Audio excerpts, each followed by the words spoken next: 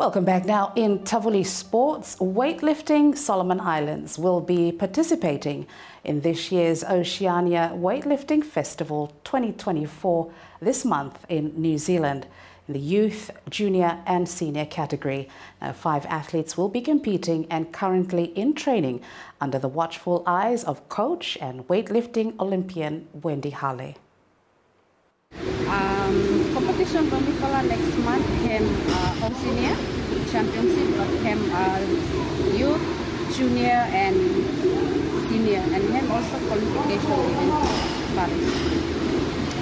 Before weightlifting team were ready for four, uh, before choosing only five athletes, one for boy no more, then for youth and junior, and then for girls. So other girls are like Jenny, Mary, and Laura, and Papa Young one belum tuh, Janita, and then one for young one Freeman. But Freeman have already traveled two times, so he have never gotten the experience.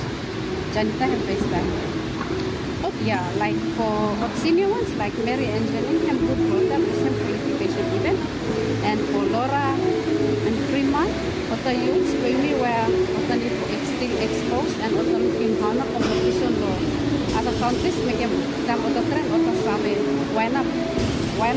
Broken and I'm good for the because build up watching mini game I'm good for start more athletes more confident competition will begin on the 17th of this month. Now, weightlifting registered a total of 18 medals during the 2023 Pacific Games. Now, the two-legged 2024 OFC Champions League playoffs is scheduled for this month. Solomon Warriors and Central Coast kick off their first leg of playoffs on the 17th of this month at the National Stadium, the Sports City. Now, preparations and training are well underway for both teams. So far, are doing okay. We're doing really well. Uh, with them now, ni inclusion law plays where kata kami na part with them team. So we're looking, we're really, really looking good for uh, Mefal take him on the first leg, but Mefal coming Saturday next weekend. For these playoffs, uh, Mefala uh, to transfers now actually him, as you might aware, him, him, him happen. Uh, William uh, Komasi and uh, Barry, Barry Limoki follow uh, uh, been transferred out for joining the club lo Nadroga lo Fiji. Um, mi tuvala tuval key players lo team where mi fala look forward for to follow part with them team lo playoffs.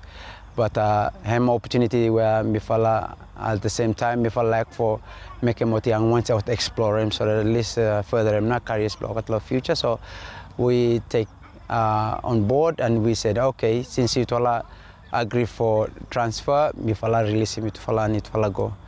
Uh, so yeah basically Tuval transfer where happen where at the moment Tuval key players for but mifala whereby Tuval not able for features inside lo Tuval playoffs but mifala Tuval league where coming up here playoffs na William uh, Komasi and uh, Barry Limoki. The final TSL match last season finished with a 1-1 draw. Central Coast led by one goal from Barry Limoki. But at halftime, a much-needed equaliser came in for Solomon Warriors as Alwyn Ho sealed Solomon Warriors' fate and put them on the top of the table for the eighth time. OFC has confirmed the dates for playoffs on the 17th and the 22nd of February. And that concludes our Tavuli News Bulletin for today.